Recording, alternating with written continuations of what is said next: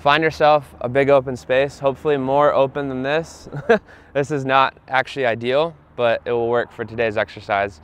Uh, when I first started drifting, I was on like a huge pad. It was probably wider than these buildings and it had none of these speed bumps or anything in it. So find yourself a good concrete, pavement pad, whatever you can find, even dirt honestly will work. And what we're gonna do, if you have cones or something similar, that's gonna be even better. But I'm assuming most of you don't have cones. I don't even have cones, so we're gonna do it without cones today. So essentially, you're gonna set up a circle. If you don't have cones or anything, just set it up in your mind, right? Here, fortunately, we've been here before, as have a couple other guys, so there's kind of a natural circle of tread marks going around. What you're gonna do is you're just gonna follow that circle. You're not drifting now. You're just getting up into second gear, you're driving in a circle, and you're going faster and faster until you feel that loss of traction. And that's gonna basically be a cheat to initiate rather than having to do a clutch kick or a power over or anything like that or a handbrake initiation.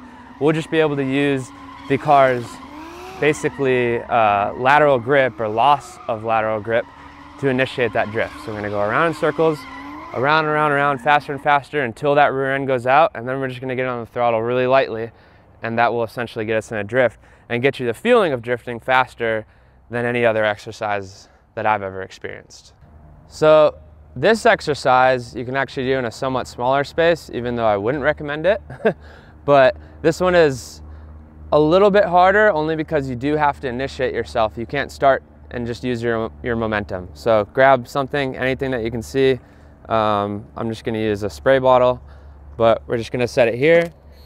And it's literally as easy as getting that initiation and just trying to do donuts around this point.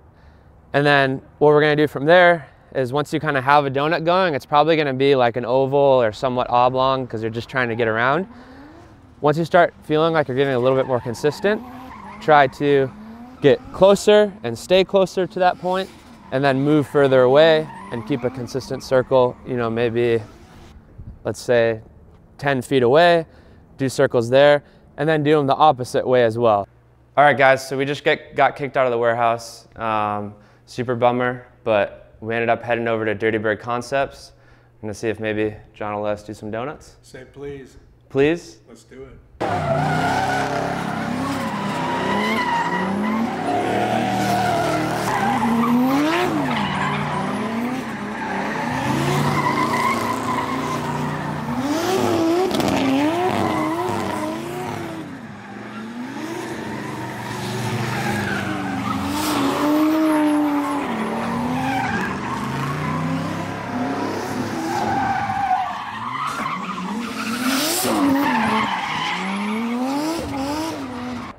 Okay, so now you're essentially drifting. You're doing donuts.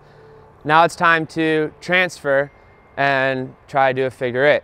So now it's as simple as two points, right? So we're gonna start doing our donuts around the one circle. I'm using my iced coffee as a clipping point. Hopefully I don't hit it because it's quite flavorful. So do donuts around one point. When you feel that you're ready, you're coming around this point and you're just gonna you're just gonna transfer, you're gonna let off the throttle, let the wheel spin, let the car catch itself, and then get back on throttle and complete a donut around this one. So try that. Try doing donuts around one, just doing one transfer to another point and doing a couple donuts. Try doing it the other way, and then try doing figure eights back and forth. So the final step, assuming that you're at a skid pad somewhere safe, hopefully at a track, uh, final step would actually be going to a road course type of track and trying to drift. Before that though, there's one, one more exercise I think is probably valuable for you guys. Since we already have our figure eight setup going, what you're gonna try to do is do a donut around that first point and try to shallow up angle, get on throttle, and then as you get close to this point, pour more angle back into it and come around and do that again. And so now you're essentially doing a straight line with a turn, straight line with a turn, and you're just going back and forth and you can even mix in figure eights with it. That's gonna teach you to shallow angle, pour on more angle, which are gonna be really necessary once you're on the track. If, if you're only doing one corner, it's gonna be very similar to doing that first exercise, but once you are on any kind of road course, they're not usually set up for drifting. So there are straights, you kind of need to shallow up angle, get on throttle. This is a great exercise for learning to do that. Once you've done all these, you're not drifting, take it to the track, subscribe to our channel, go below in the comments, tell us if this helped you, tell us what else you'd like us to do for you guys, and uh, get out there and shred.